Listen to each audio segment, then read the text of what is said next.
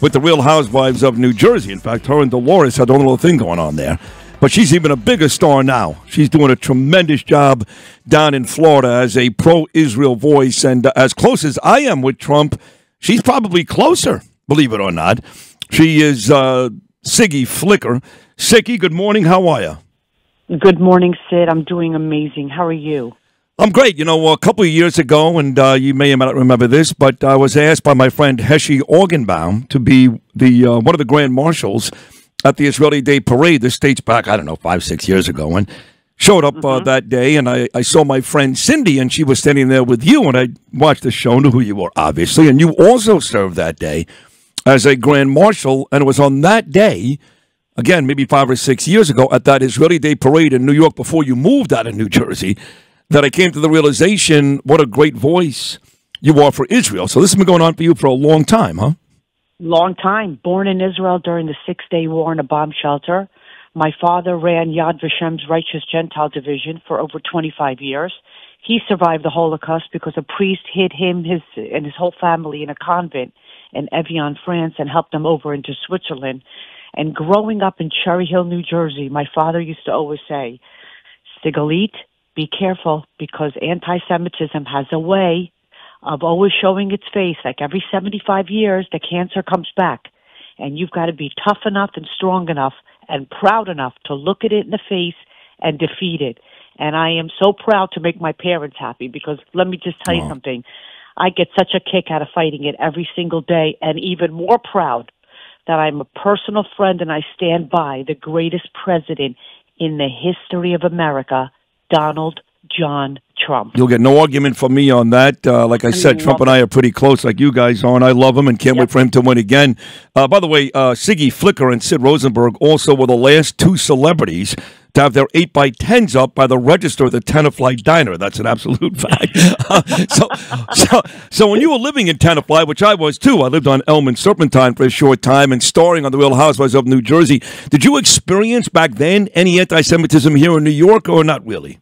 No, no. I've never experienced it. Well, listen, I don't think that the liberal entertainment industry likes strong, powerful Jewish women. I mean, they kind of like to, you know, hire useful idiots that, you know, how to be hot messes. And, you know, That's true.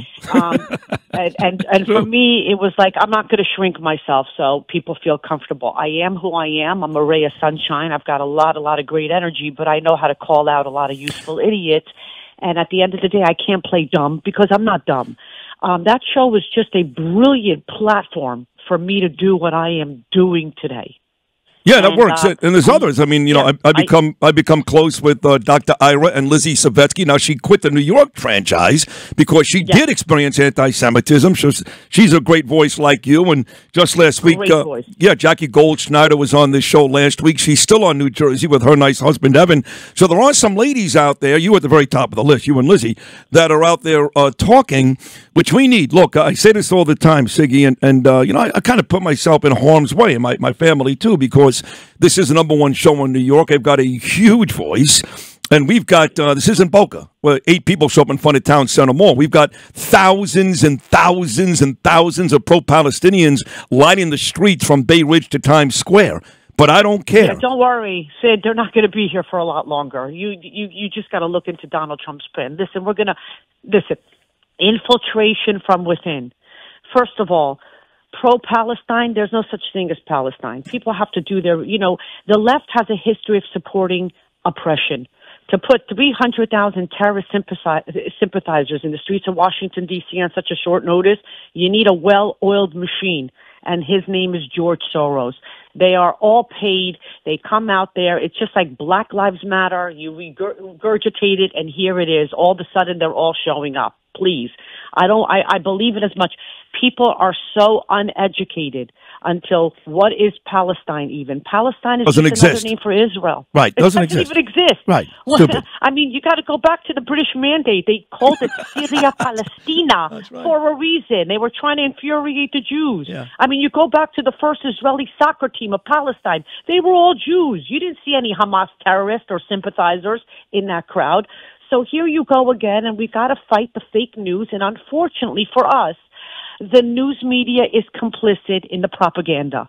Oh, I and agree. we have to Yep. fight it. Yep. We have to fight it every day. But just like when um, Black Lives Matter came out, and everybody was like, "Yes, I'm supporting Black Lives," because guess what? Sid, Black lives do matter. But then a year into it, you realize, wait a second.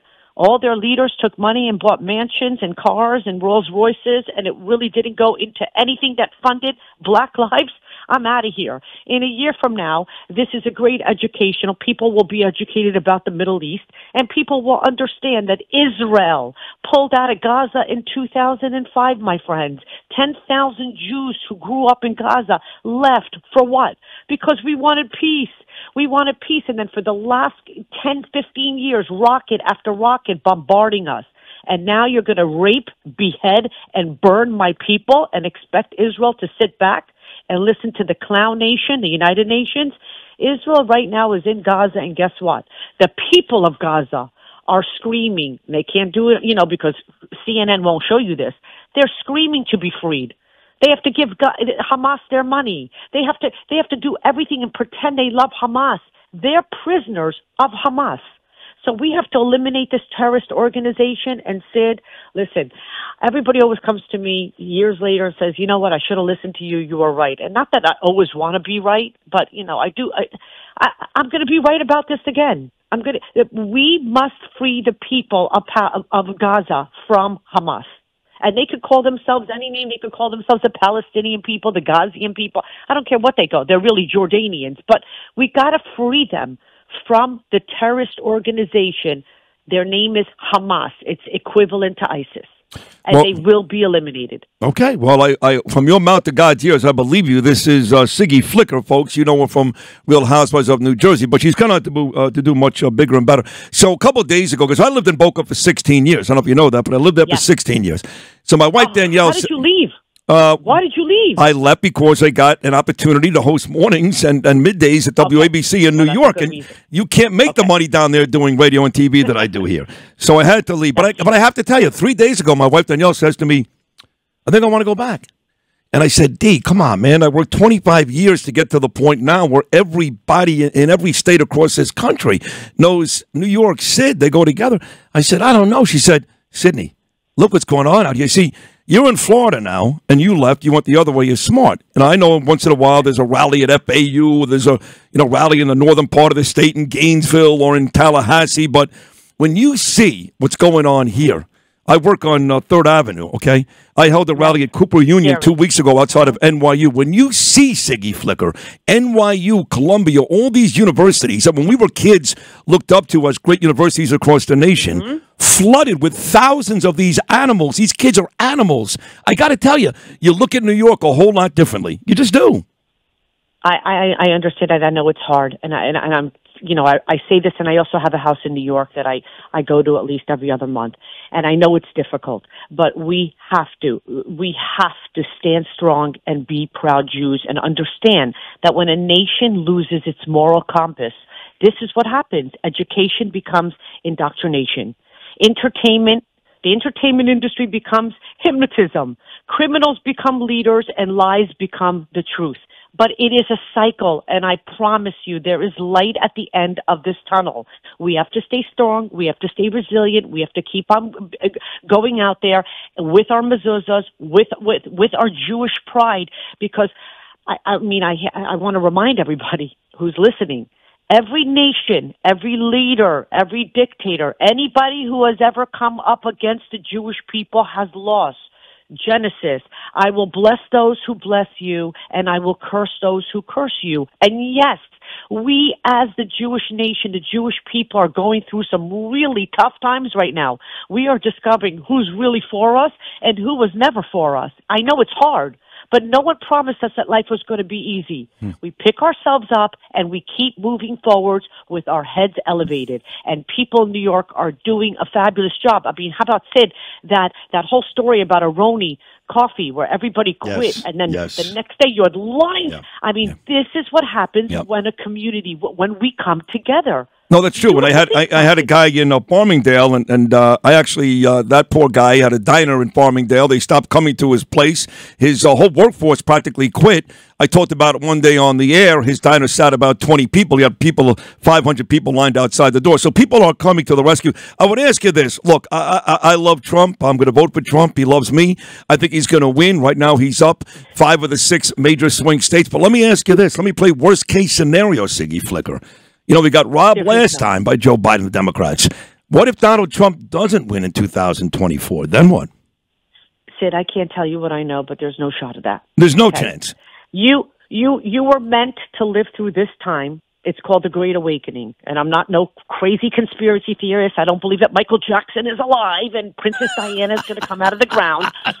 well, let me just tell you something. The elections this time around are going to be completely different. Donald Trump will not only win in a landslide, mark my words, but on top of that, because he's a Gemini and he's a fighter and he goes in, on top of that, because he has everything lined up. The man is a genius on top of being the nicest, most generous, kindest, and the biggest supporter of the Jewish people and the state of Israel. Let me remind your listeners, his daughter is a Jew, his grandchildren are Jewish. I've been with him. I've traveled on his airplane. I'm a member at Mar-a-Lago. I've had dinner with him, my husband and I, multiple times. The way that he is, the way that he loves America first, and the way that he talks about every day, we common people, we the people. He is in it to win it. And not only is he going to win it, I'm going to say something that everyone's going to, oh, you can't talk about that. On top of it, the election of 2020 will come out that it was a fraudulent election and it was stolen from Donald John Trump. There is one man standing between tyranny and the Constitution, and that's Donald Trump. And uh, trust me, I don't get paid to say this. I don't need to say this. I am telling you because I was, I have a gift of Golda Meir. I have this intuitive feeling. I know winners and I know losers. And when I see a loser, I know to run or, you know, exit classy and say, listen, this is really not going to work. You go on your way. I wish you nothing but health and happiness and make sure you lose my number. this man is a winner. He's a fighter and yeah. he's going to the very end. And you have over a hundred million people. The silent, they're silent now. They're silent now. They're not going to be silent next election. You know, I've had on this uh, show. We are losing just, yeah, our country. Yeah. I agree. I, I and, tell you, Siggy. That, I'm very good friends with Tom Homan. Yeah, I like him too. You have to keep talking about yeah. Tom Homan. We have over 50 million legal aliens in this yeah. country. We yeah. don't know why they're here, and over 600,000 jihadis are here. So you're looking at the Middle East, and a lot of people are like, "Yeah, free Palestine." They don't even know what river and what sea it is. They have no idea what they're talking about. But their classmates told them to cover up their face like a terrorist and go out and say free. Pa-. They don't even know what they're saying. But let me just tell you something. We have a major problem in America. Don't look to Israel. Israel will win that war. It always does. Look here because the next fight is here in your backyard. And I have people, Jewish and non-Jewish, who are scared for their children, scared for the future of this country. All these people, all these evangel- evangelicals, a hundred million of them that don't really care to vote, everybody is coming out in masses to vote because we know that the greatest country in the world is the United States of America. We're the home of the free because of the brave, and we will not let this country down. You know, in the past couple of months, Siggy Flicker, I've had Nancy Mace on this show and She'd like to be vice president. I've had Kari Lake on this show. She'd like to be vice president. I've had Tulsi Gabbard on this show. The more you talk, I know that uh, Trump was in my city on Saturday at UFC 295 with Tucker Carlson. Yep. People want Tucker uh-huh. Carlson. I think Siggy Flicker would be the perfect choice. No. Running mate for Donald Trump. You'd be a great vice president. I'm president. Tell you one thing. I'm going to tell you one thing. My whole life, all I ever wanted was to meet a man who loved me with all his heart and soul and to be a mom and a wife and and to to live this life that I'm living now. I was I was I don't know why Hashem has blessed me with this with this wonderful husband who says to me, "You could do whatever you want. You could I pay you 5 times the amount that anybody would ever pay you." I just enjoy your company. The children enjoy you. I, I just enjoy my freedom of doing what I want when I want and how I want to do this. I am living the perfect life. Right now, my only mission is for Donald Trump to be the president of the United States of America and for my, my, my soldiers in Israel, the people of Israel, Am Yisrael Chai, Kapara ala Am Shali. May God please bless, bless this nation for what it's gone through, for, for, for everything. My heart is with, bring home those hostages, yep. save those people, but the world will be, a, there's light at the end of the tunnel. We're going to have to go through another 12 months of hell. And I'm talking about hell. Just prepare it's going to be 12 months of hell. I, I, I like to give out straight facts and not, you know, you know, brush it on with butter and sprinkles on it. After that, Donald Trump's going to be back. The whole world's going to change because we were will be respected again. We'll be will be you know terrorists when when when you have a leader that you respect instead of a leader that can't spell Bob backwards and Bob backwards. That's very good. The world uh, wants it a different way. you can't. Uh, listen, I mean, everybody's like, "Oh my God! And, and, and the American people should want to believe that he got 81 million oh, votes please. campaigning from his basement, more please. than Barack Obama, please. who I hate to admit was a popular president. He I mean, this is just a joke. We're being we're the laughing stock of the world, but not for long. Not for long. Uh, most important question. You ready for this? New York Prime or Abe and Louie's?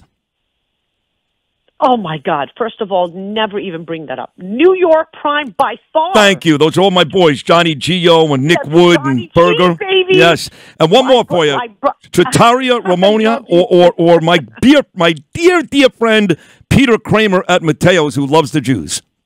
He's Jewish. Who'd you say? Who'd you say? Matteo's. the first one. Oh, the first one would be, I oh guess. My God. That, Are you kidding me? Peter's one of my best friends. There you go. Me too. There you go. Peter and Vinny, yes. hands down, one of my best friends, and John Gio.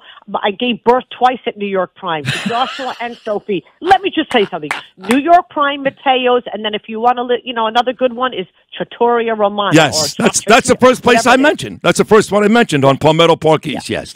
Uh. Listen, you're wonderful. My phone is blowing up. I mean, I, am not kidding you. God Even bless you, Sid. Thank you. Uh, uh, thank look you at this. What you're doing. Even Jimmy Breslin's kid, Kevin Breslin, said you're amazing. How about that, Siggy? Aw, angels. God bless you. God bless everybody. And you know what? Uh, Sid, seriously, you're doing a mitzvah. Thank you. Keep on helping out all those businesses that need it right now because all these useful idiots who don't even know what the river or the sea is and they don't even know, they also don't know how to spell mom, dad, or Bob backwards. Keep on helping out all those, you know, people and, and keep on doing what you're doing. I love you. God I love you too. Thank you, Siggy. Man, she is great, huh? Beautiful and smart and and uh, at one point, believe it or not, a uh, reality star on TV, and now becoming, and now you know why. She's one of our big voices. She is absolutely terrific. Excellent job, Siggy Flicker, former Real Housewife of New Jersey.